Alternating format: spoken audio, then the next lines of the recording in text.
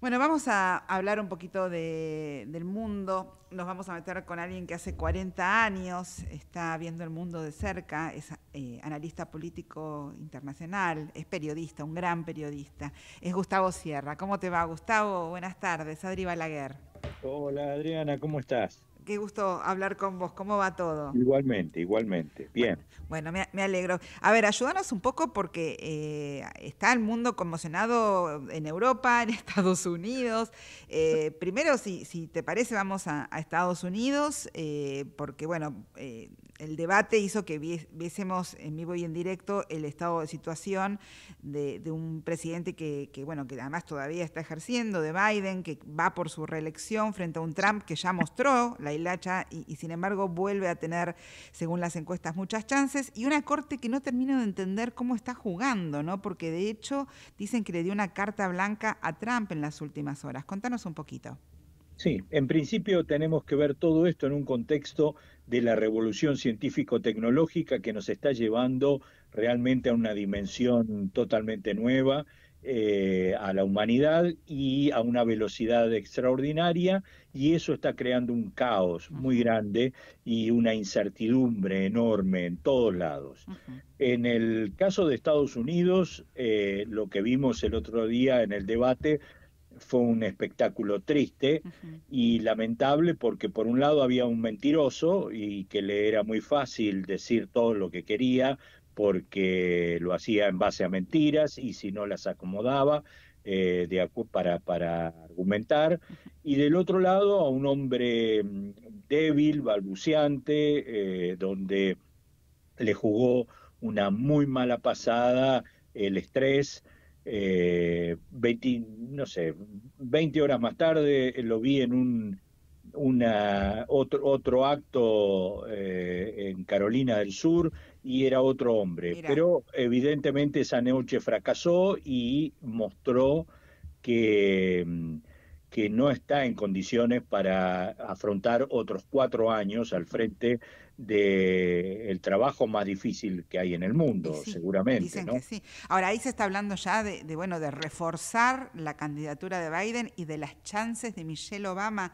Puede ser, uno dice Michelle Obama y sabe que, que viene el bloquecito, el bloquecito suyar, ¿no? Que viene también con, Barack Obama eh, eh, en, tándem en algún sentido. ¿Eso, eso está, eh, es posible? Mira, el todo eso eh, está en la gente, no en la ah. realidad del Partido Demócrata, donde hay un, un, hecho muy concreto que los delegados a la convención, que es ahora en agosto, del partido, que es el lugar donde podrían reemplazar a Biden por otro candidato, esos delegados están obligados eh, a votar por el candidato eh, que fueron electos. Por lo tanto, el único que tiene la carta en su mano eh, es Biden y eh, tiene que anunciar que se baja de la candidatura para que pueda aparecer otro. Esto está en discusión. Yo me imagino que a puertas cerradas en este momento debe haber unas discusiones extraordinarias y además un dilema, porque un nuevo candidato, sea cual sea, eh, tiene dos meses de campaña. o sea, se tiene que instalar en, como candidato. Pero si le ponen un vice que refuerce. Eh, a, Biden. Sí. Bueno, mm, pues, eh, creo que se podría hacer, pero me parece que no, que la idea es, que el vice, o sea, Kamala Harris, podría ser una de las opciones. Eh, sin embargo, no tiene el apoyo. Este, la, verdad es que no ha logrado eh, el, apoyo de los demócratas y no es una mujer popular en Estados Unidos. No, no, no se ha destacado en estos cuatro años.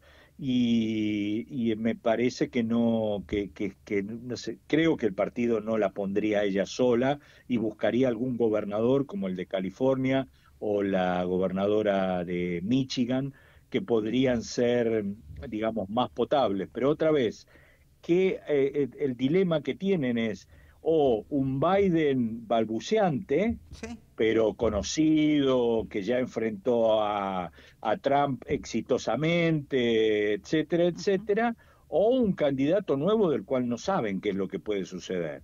Entonces, eh, tienen un problema, tienen un problema. Y poco tiempo, muy tiempo, poco Gustavo, porque esto es en noviembre, ¿no? Y lo tendrían que haber resuelto antes y no lo quisieron hacer, si bien eh, como te digo, creo que fue una muy mala noche para Biden el otro día y que eh, creo que está en condiciones de gobernar. Es un tipo, o sea, una persona muy inteligente, con un gran manejo de, de la política en Washington y ha demostrado que ha puesto en práctica una política económica que ha tenido buenos resultados hasta ahora. Está bien, no, eh, quedar presos también, de, me imagino cómo debe estar el trampismo batiendo el parche contra, contra Biden y, esto que fue un mal desempeño en el, en el debate y no más. Pero digo, acá, ¿te acordás que, que cuando fue este, el debate ya entre, entre Massa y Milley, eh, mm. también parecía que este, Massa canchereando y, y con el manejo ¿no? de, del micrófono y de la cámara le ganaba a Milei. Sin embargo, después las elecciones marcaron otra cosa, así que hay que ver qué, piensa la gente en este sentido finalmente. Así es, y la Corte Suprema, que vos lo decías, le dio una manito a Trump eh, porque eh, determinó que no puede ser juzgado por sus actos como presidente. Eh, no, no está protegido por, por, una, por una ley de, eh, absoluta y solamente puede ser juzgado por sus actos privados. Y ahí está el problema. ¿Quién va a determinar cuáles son sus actos oficiales y cuáles son sus actos privados? El acto que hizo donde habló fuera de la Casa Blanca el día, el, eh, el 6 de, agosto, cuando eh, el, asalto al, al, Capitolio, en ese momento que arengó a, sus seguidores a ir al Capitolio para que no reconozcan eh, el triunfo de Biden. ¿es, ¿Ese acto fue oficial o, fue, privado? ¿Quién lo va a determinar? Bueno, otra vez irá a la Corte Suprema esto y ahí eh, sus amigos, él los puso, él eh, logró que la Corte Suprema estadounidense fuera eh, mayoría de mayoría ultraconservadora y le, y le van a dar otra mano, seguramente. Seguramente. Te llevo, te llevo a Francia, estamos hablando con Gustavo Sierra, eh, para los oyentes que, recién se enganchen, eh, porque bueno, también el, triunfo de Marie Le Pen en esta primera vuelta de las elecciones legislativas de Francia, eh, bueno, sorprendieron un poco al mundo, dejó esta elección a Macron, que es el presidente, en tercer lugar. Muchos mm. dicen, bueno, entonces se va a ir, queda, digo, tiene que cumplir su mandato? ¿Cómo es esto? Bueno, eh, yo creo que Macron cometió el, mismo error que cometieron eh, en, Gran Bretaña cuando llamaron a la votación por el Brexit. Creían que iban a ganar, claro. creían que no iba a ocurrir lo que todo el mundo le estaba diciendo, mirá, que va a ocurrir. Y eh, por suerte el sistema francés es un sistema en el cual eh, van a una segunda vuelta para las elecciones legislativas el primer y segundo candidato. Y el segundo candidato puede em, bajarse en favor de, eh, un, de un tercero que tuviera mayores posibilidades en una confrontación con, eh, con, con, el candidato de, del Frente Nacional, ex eh, Frente Nacional. Esto se tiene que definir ahora, ¿no? En, eh, este por estas horas. Ah.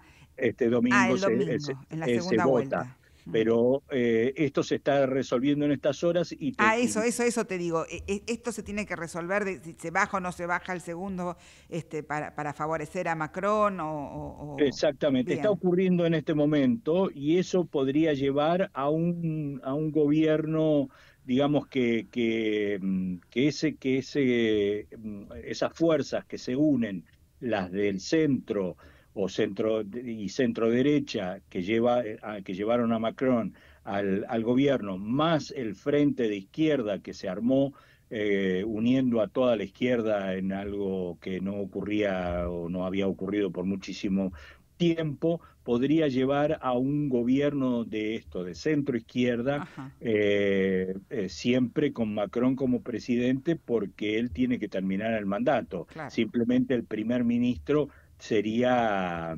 multicolor de alguna manera, para llamarlo. Entonces, ahí hay que ver de todo modo cómo queda, porque Le Pen y la, derecha y los grupos que vienen detrás, que, son, que es lo más peligroso, eh, cuál va a ser la respuesta y qué van a hacer en las calles.